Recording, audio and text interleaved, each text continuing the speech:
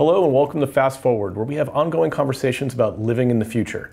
I'm Dan Costa, editor in chief of PCMag.com, and today we're going to talk about algorithms. Now, algorithms determine a huge amount about the way we live and work online.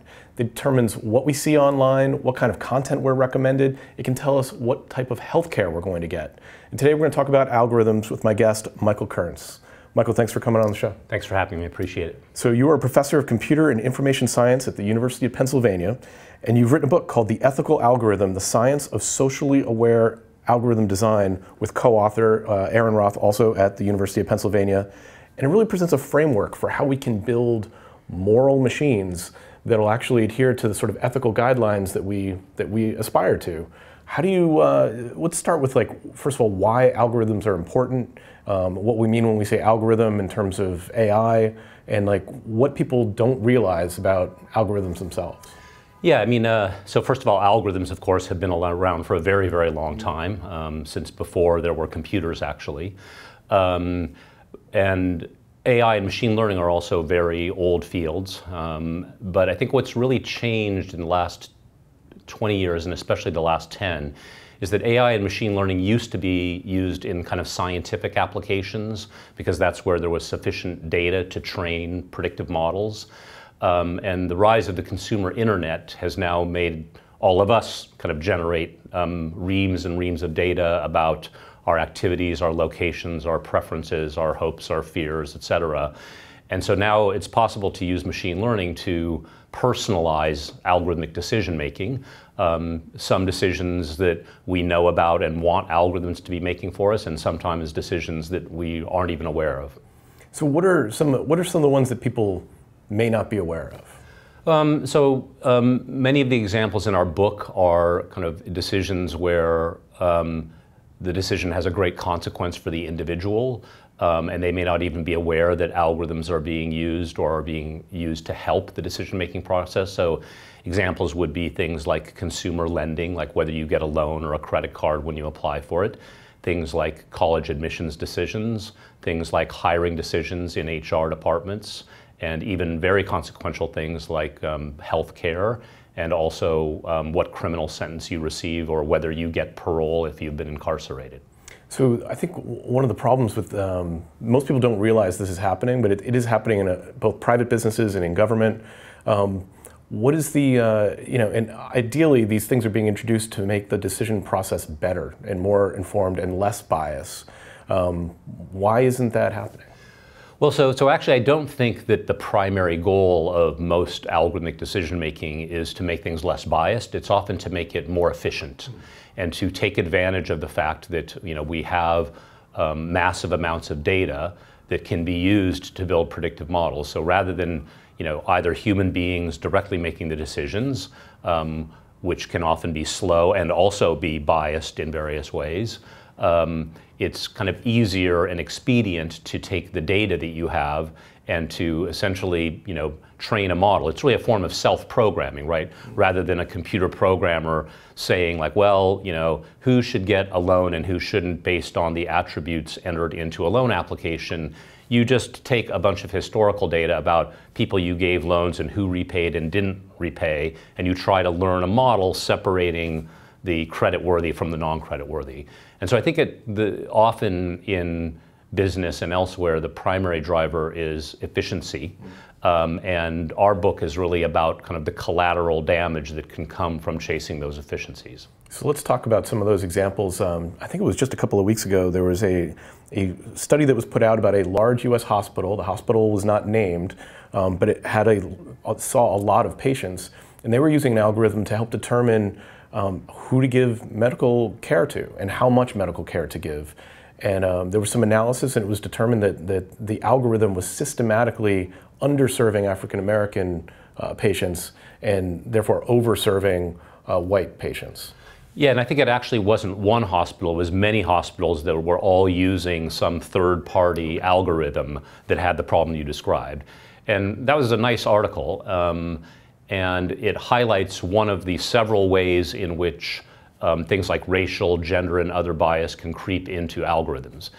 That, in that particular case, the problem wasn't really with the algorithm, which is often a source of bias or discrimination.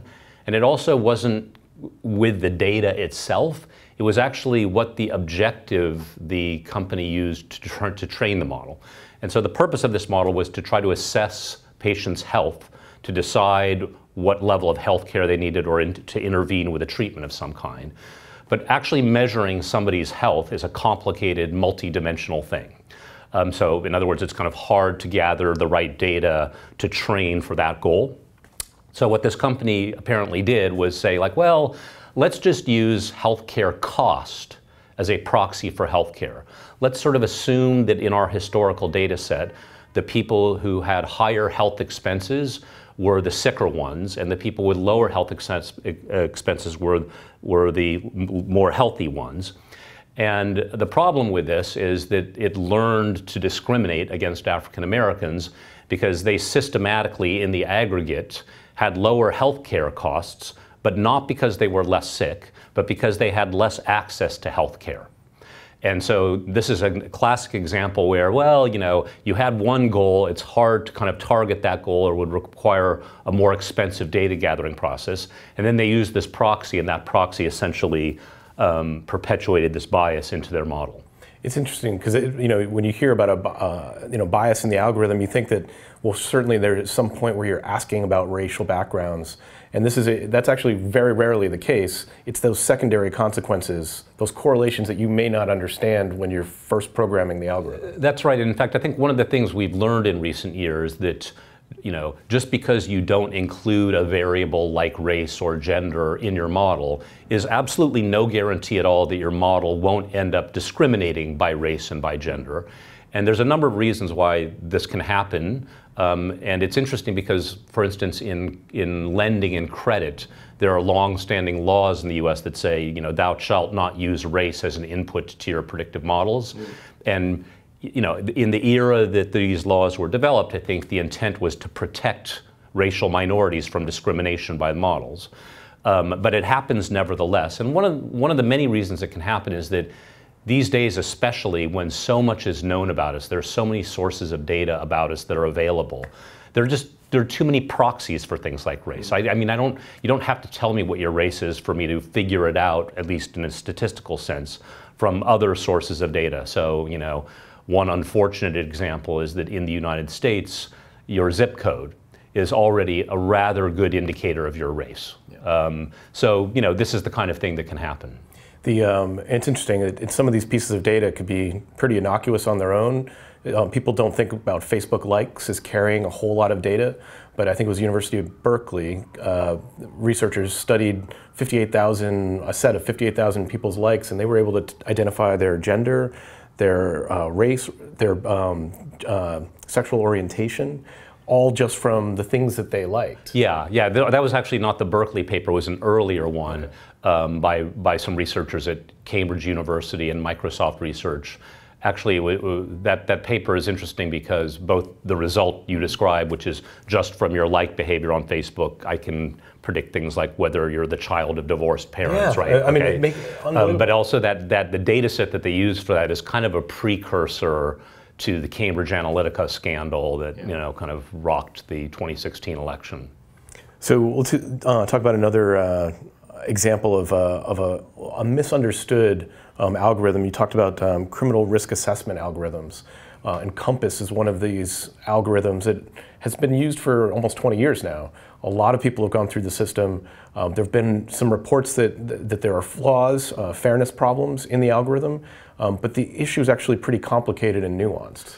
Yeah, so that was, a, again, a very, you know, relatively recent um, controversy that I think um, helped advance our understanding of the challenges of algorithmic fairness.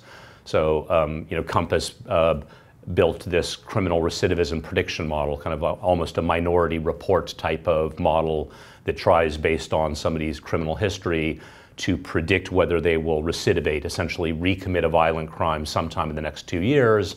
And these kinds of risk assessment models are often used in different jurisdictions by judges that are deciding whether to give people parole or not. So it's very, very consequential stuff.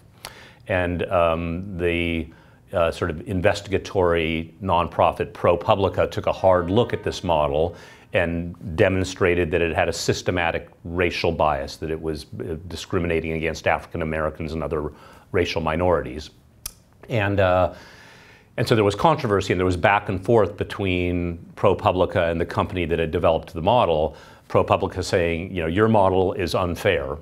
Um, and then um, Northpointe, which was the company that developed it, came back and said, no, we deliberately were aware of these issues and we made sure our model was fair, but we used this other definition of fairness. And if you dig into the weeds on this, both of these definitions of fairness are entirely reasonable and desirable. In fact, you'd like to have both of them. And so then researchers started scratching their heads and saying, okay, you know, who's right here? And then some of the more theoretically inclined ones kind of sat down and thought, hmm, is it even mathematically possible to satisfy both of these fairness definitions simultaneously? And then they, they proved that it was not. Mm-hmm. And so this is especially enlightening or disturbing depending on your viewpoint because it shows that the algorithmic study of fairness or, or you know, implementation of fairness is going to be kind of messy and that you might have to, you know, when you ask for one type of fairness, you may have to be giving up on another one. So let's talk about weeding into this messiness. I think we've been pretty clear about how complicated this gets very quickly. Um, so in your book, you, you offer some advice for how to build ethics into these algorithms from the start. How do we go about doing that? Yeah, I mean, so the, the main purpose of our book is, you know, it, it, it, we are optimists, we are machine learning researchers, um, and but we're also aware of, you know, the antisocial behavior that algorithms have, you know, demonstrated in the past five years, and the rising um, kind of popular alarm over that, and we share that alarm. Um, and we kind of felt like most of the books that we've read, many of which we've liked a great deal, um, are very good at pointing out what the problems are. But when it comes to solutions, their answers are of the form we need better laws, we need better regulations, we need watchdog groups, we really have to keep an eye on this stuff. Mm-hmm. And, and we agree with all of that. But we think that you know while that's going on, and you know things like regulatory and legal solutions, they take a long time, right? Um, if algorithms are misbehaving, we could think about like making the algorithms better in the first place. If we're worried about a criminal recidivism model um, demonstrating um, racial bias or an, another algorithm leaking private data, um, we could ask whether we could, you know, literally like change the code in those algorithms and eradicate or at least reduce those problems. And you know, the good news from our perspective is that over the last 10 years or so, a growing number of researchers in the field, ourselves included, have been working on exactly how you would do that and what it would mean. And so the, the general kind of recipe, if you like, I don't think we're quite to the point where we can call it a recipe, but the general you know, um, process is you first, you know, you, you kind of have to state what you're worried about, like privacy leakage or fairness or what have you. And then you need to, you know, anytime you're going to explain something to a computer, anytime you're going to put something in an algorithm, you have to be exceedingly precise. You kind of, you know, you can't wave your arms and say, hey, um, you know, try, to, try to be more fair, right? Yeah. So you need to pick like a definition of fairness that you could write down mathematically, and you need to sort of encode it, embed it in the algorithm itself. So to give a concrete example, um, you know, many of the problems of machine learning arise from the fact that it generally has a singular, very clear objective, which is minimizing error. So you take some historical training data, um, you know, you've got loan applications represented by a vector X, and you've got some outcome that you know happened historically, like this person did repay their loan or they did not repay their loan, okay? And what you would normally do is take a big pile of data like that and say like, okay, I want to use, I want to use a machine learning algorithm to find a model, whether it's a decision tree, a neural network, what have you, that on this historical data set makes as few mistakes of predicting re loan repayment as possible. Okay, totally sensible principle. The problem is that, you know, especially when the model classes are extremely rich and complex, I didn't say anything in that statement about like, you know, fairness so I didn't say, for instance, um, make sure that the false rejection rate on black people is not too much higher than it is on white people. I just said minimize the error overall. Mm-hmm. So Um, if, for instance, black people are in the minority in my data set, or if there's some little corner of the model space where the overall error can be reduced just even infinitesimally at the great expense of racial discrimination, standard machine learning is going to go for that corner, okay? So what's the fix? The fix broadly is to change the objective function and say, don't just minimize the error, minimize the error subject to the constraint that the you know, false rejection rate on black people and white people is no more than 1% or 5% or 10%. And this is giving you a knob also notice, right? You can, uh, you, you can sort of say, I want perfect fairness, 0% discrepancy between different racial groups of false rejection or I can, you know, relax that a little bit. Of course, if I turn that knob all the way to allowing 100% discrepancy in false rejection rates, it's like normal machine learning. It's like I'm not asking for any fairness at all. So, so I got to imagine it's just so antithetical to most engineers' thinking, because you're basically going to sacrifice accuracy in yeah. order to take, in order to accommodate these other principles, which are a little more philosophical. Yeah, I, I don't think it's actually the scientists and engineers who have any difficulty with this. I mean, so first of all, they, you know, they understand the original principle of machine learning of just like minimize the error. They're, they're very used to solving constrained optimization problems also. So, you know, they certainly can understand the math behind this alternate where you're taking fairness into consideration. It's the CEO. The hard part is the business, right? Because, you know, it really will mean you're going, it, it, will, it will mean, as you say, less accuracy, right? I, you know, it, if the most accurate model, ignoring fairness, was racially discriminatory, then getting rid of that discrimination can only make the error go up. And I think we're at the point where the science of these kinds of trade-offs is pretty well in hand. I mean, on actual data sets like the COMPAS criminal recidivism data set, you can actually literally numerically trace out the trade-off that you face between accuracy and fairness. Um, I think the hard part is explaining to non-quantitative people what that curve means, first of all. And then once they understand it, sort of saying to them like, okay, you need to pick a you need to pick one point on this curve. You have to decide the relevant the, the you know relative importance of accuracy and fairness. And remember in many applications accuracy translates into profits for instance, mm -hmm. right? So if you are Google and Facebook and you're using machine learning as they are to do targeted advertising to, you know, your users on behalf of your customers who are your advertisers, of course. Mm -hmm um, if you decide to enforce, let's say, you want to make sure that in, you know, um, ads for technology jobs are um, equally frequently targeted to relevant people of all racial and gender groups, you know, that's a constraint. And you might end up with a less accurate predictive model, meaning that your ad targeting's accuracy gets worse. And for those companies, that means like profitability reduction. So I think you know we're at the point where these conversations are starting to be had in large tech companies and other you know areas like criminal sentencing, um, but it's it is early days. What it, it, also strikes me as complicated because like what incentive does Google have to make its algorithms transparent enough so that people can understand how they work in the first place? Um, very good question. Um, you know, one answer that's I think a little bit off in the future but coming fast is they, they may soon face a different regulatory environment that puts more requirements of that form on them. Um, another, of course, is kind of market pressure. I think you know as people become more and more alarmed at the uses and kind of um, collateral side effects um, of machine learning and AI, these companies are going to be held more accountable. Um, and, and so it might behoove them to be ahead of both regulatory scrutiny and their own users kind of demanding these things, or perhaps migrating to potential competitors that are better on these social dimensions. So, um, and you know, I, I, I, do think that uh, broadly speaking, you know, the large tech companies have a lot of very valuable intellectual property that they are right to be protective of.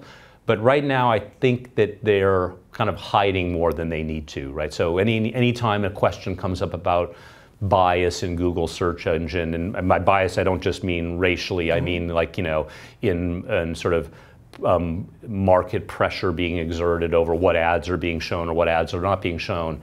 You know, their basic answer, in my opinion, is there's the answer comes on with the form like, hey, you know, we're scientists and engineers here, and we're using very principled methods to develop these predictive models. Um, you know, so so bad things kind of can't be happening. You know, therefore trust us. Okay, and I think you know the the veil has been lifted from that now. We you know we realize that actually those scientific principles might be the very source of a lot of these problems.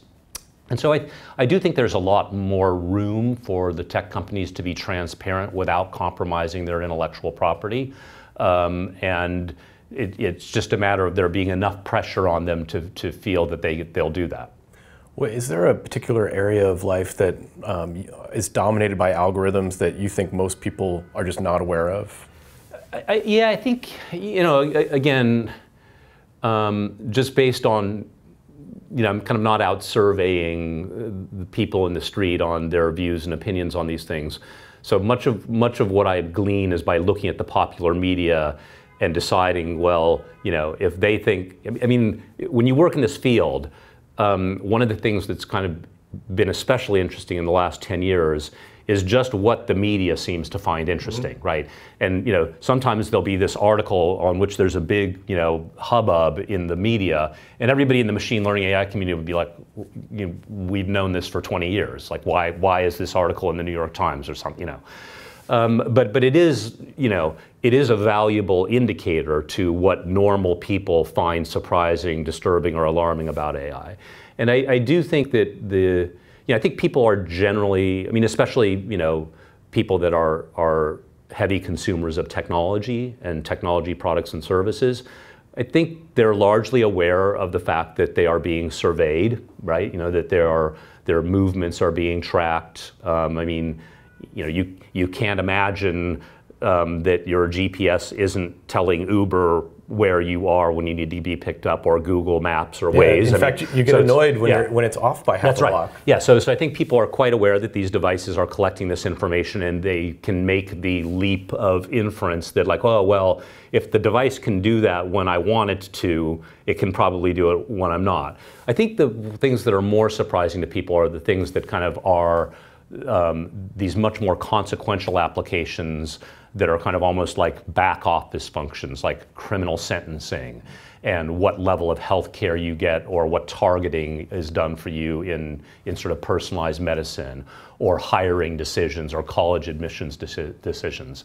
I think um, people are still more of the belief that there's less automation there and that there must be some, you know, loan officer carefully considering your case um, and I don't think people realize how much of this these days is kind of entirely autonomous and you know, no human is involved at all.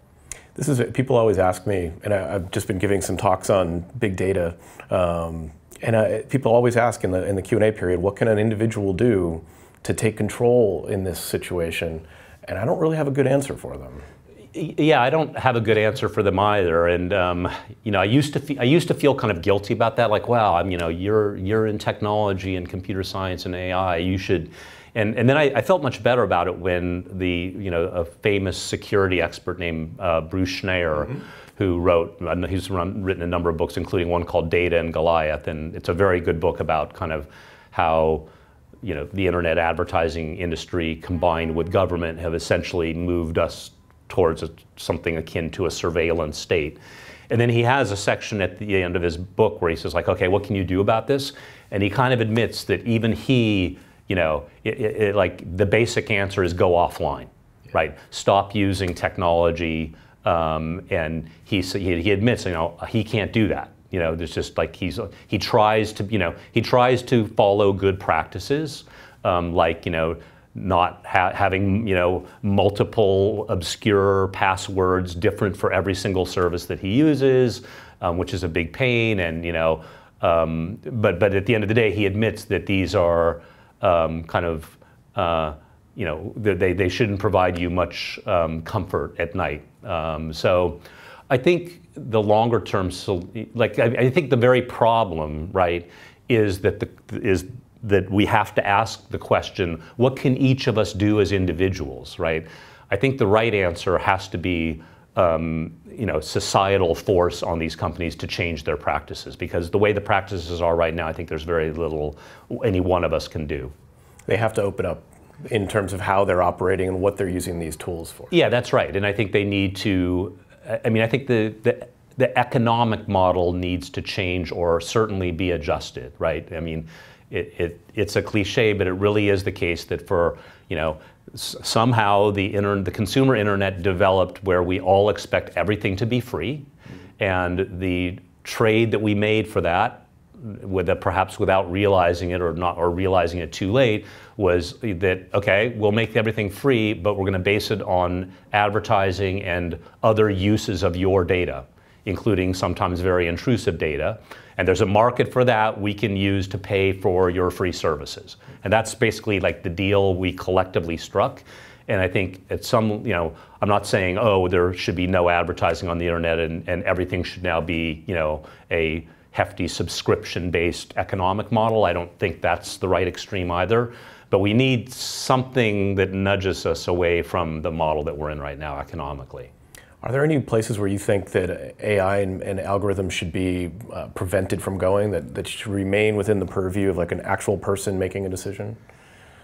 Yeah, I mean, e- even in some of the you know um, areas where if you implemented it correctly and kind of adopted some of the solutions we described in the book, I do think you know there, there are certainly many many areas where I, even as a believer in technology and AI and machine learning, I would prefer there to be human oversight. Not, I'm not asking like, you know, don't use data at all, don't use technology, don't use AI and machine learning, but certainly like in my medical care, I prefer to talk to trained doctors and other professionals. I, am very happy to learn about the technology they use and and it's always reassuring when they're using it and they clearly understand it and understand its limitations. So I wouldn't want that kind of thing to be automated. I think in other areas where you know it's highly consequential, like criminal sentencing. So, so just to be clear, that, that is still not automated, right? Yeah. These risk assessment models, they are inputs to judges who are taking other things into consideration. Um, and I think that's good. I don't think we should ever go to a point where um, you know decisions of that kind of impact are you know made without a human being looking at the material at all um, you know, more on the moral side of things, um, you know, we talk about this in the last chapter of the book.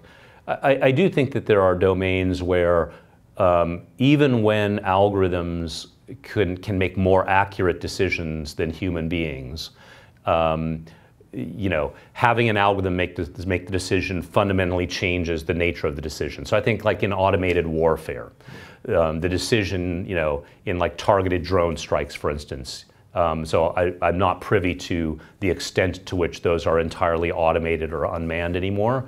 Um, but you know, I would even if you told me, oh, oh, we can do this much more accurately than having like a human being actually sort of you know remotely manning the drone.